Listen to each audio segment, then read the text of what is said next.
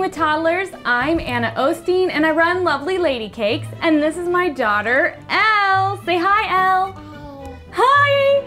So guys, I love just making lots of fun baking videos. I've started out, went to culinary school in 2006 at Le Cordon Bleu and I learned savory and sweet. So I'm always just been cooking and baking since I was young. Been making lots of fun how-to videos. But recently I had a daughter, Elle, and we love to bake together. When I was a kid, it just made me so happy to sit up on the counter and watch my mom bake. So I am holding up that tradition with her. Do you like baking with me? Yeah. Yes, she does. Good job. Well, today I'm going to show you guys how to make a strawberry gummy, but we're going to use little animal cookie cutters. They're super cute.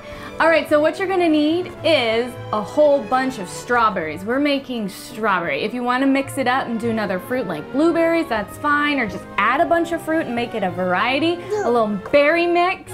I just took a whole bunch of strawberries, took off the top, cut them in half and blended them in my blender. You just wanna keep pulsing, pulsing, pulsing until all your strawberries are just liquefied and ready to go. And then I poured it in a saucepan with a little bit of sugar and put it over the heat, a medium-high heat, because you're gonna start gradually and slowly drizzling in your gelatin. So the gelatin is really the key to make it gummified for our little ones to play with. So we'll just drizzle that in really slowly and then you wanna whisk it and keep whisking it until you see its first bubble. That means it's starting to boil. You want it to boil for a good 30 seconds, then take it off the heat and cool it down. So next I got a baking dish and I just lined it with a little bit of coconut oil or butter and then I poured my strawberry mixture right on into there, then popped it in the fridge for a good four hours to become gelatin. Mmm. Okay, so now our gelatin Look at that, it's ready to go. Uh, again, you can use a silicone baking mat and just, or uh, a mold and pour this gelatin right on in there and pop them out really quickly. But we're gonna take these cute little animal cookie cutters that I bought and Elle is going to cut into them. Which one are you gonna use, Elle? What's that one? Is that, what is that? Me. It's a pig. Okay, you ready? So this is what you do. Push it down, use your hand.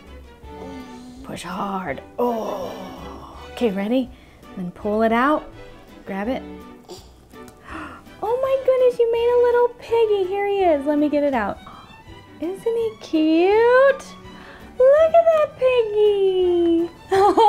you want to eat him? Oink, oink. Try it. What do you think? Mmm. Can I have a bite? I'm try. Me. Piggy. Ooh, that's really good. It's very flavorful. Okay, what's the next one? What's that? Me. A kitty. What's the kitty say? Oh. Aw, kitty say aw or meow. Yeah. Okay, you push. You gotta use the face. Oh! Look how cute he is. I was gonna eat them all. Sorry, guys. Oh, okay. Your favorite animal is what? Muppet. Puppy. Yeah. Good job. Look how cute. Oh, so cute. Let's. Oh. Wow, that is so cool. Look at that puppy. Show him the puppy dog. Show him. Wow, guys. This is so much fun and it's healthy. Another fun uh, thing I've noticed that some people like to do is make their own allergy relief gummy bears instead of buying them from the grocery store. And so I'll put a little bit of that in these, like vitamins for the baby. Healthy vitamins that you know all the ingredients that are going into it. It's kind of cool. But they only get one if it's a vitamin one. right. Did you have fun making these? Oh my goodness. What's that? Yeah.